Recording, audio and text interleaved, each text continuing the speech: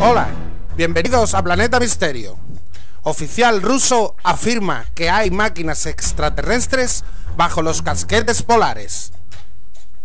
El capitán de primer rango, Vladimir, director de una organización de investigación pública para estudios submarinos, notó que Rusia, Estados Unidos y China están gastando miles de millones en el espacio, cuando tal vez deben gastar el dinero aquí, abajo, en las profundidades del mar, bajo los brillantes casquetes polares, teñida de azul, donde, dice, máquinas extraterrestres gigantescas se esconden. OVNIs en los polos. Durante décadas, el ejército ruso ha rastreado a los ovnis y extraterrestres yendo y viniendo desde la parte superior e inferior del mundo. Las bases que hacen alarde de potencias mundiales y la tecnología y maquinarias utilizadas con las que cuentan son a veces como poco menos que mágicas. El capitán Vladimir relata el asombroso caso del doctor Rubén, un famoso explorador del Ártico, quien, junto con un oficial de guardia y su timonel experimentado, fueron testigos de la partida de un objeto plateado con dirección hacia el cielo desde el fondo del mar, cubierto por hielo. Los hombres navegaban a bordo de un enorme rompehielo ruso durante una operación naval llamada Deep Freeze, que emprendió un intenso ejercicio naval en la región polar norte. De acuerdo con el testimonio posterior en una audiencia oficial, el doctor Rubén y los tripulantes en cubierta, junto con él, se sobresaltaron debido al objeto que apareció desde abajo del hielo. Grietas en el hielo y objetos en el Ártico.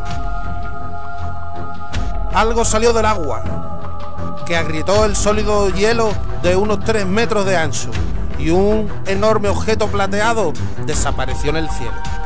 Enormes bloques de hielo fueron levantados en el aire a decenas de metros de altura. El estruendo golpeó en los montículos de hielo y el agua formó enormes burbujas. De él se levantó vapor. Esto parece indicar un potencial de energía gigantesca que acababa de ser liberado. La Antártida también tiene su presencia extraterrestre. En 1997 afirma Vladimir la desaparición de Bellinghausen junto a la zona de la Antártida fue examinada por el ejército australiano a una profundidad de 6 kilómetros. Sus cámaras pudieron capturar objetos ovalados, emitiendo una luz interna intensa.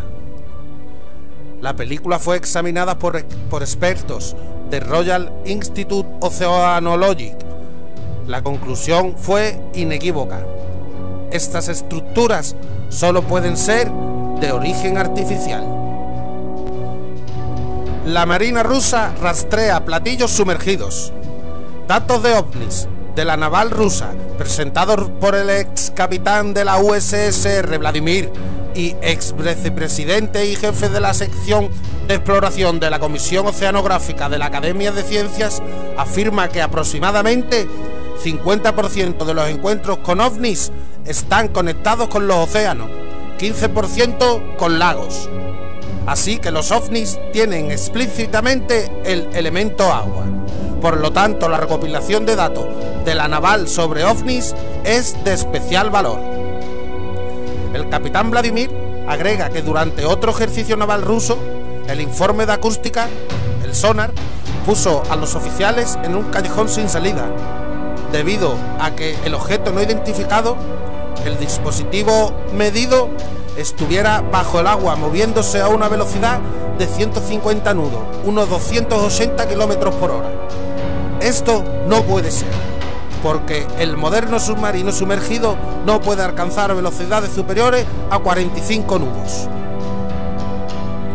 El oficial de vigilancia inmediatamente informó al capitán, quien a su vez contactó inmediatamente con una nave de comando.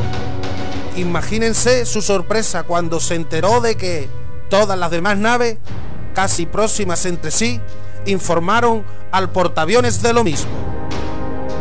Los misterios en las profundidades de los océanos son tan grandes como en el espacio ultraterrestre. El capitán Vladimir dijo, el problema es, la humanidad se precipita hacia arriba con gran interés y no es demasiado intensa la búsqueda hacia abajo. Tal vez esto es un gran error, dijo tristemente. Y aquí finalizo este vídeo. Espero que les haya gustado.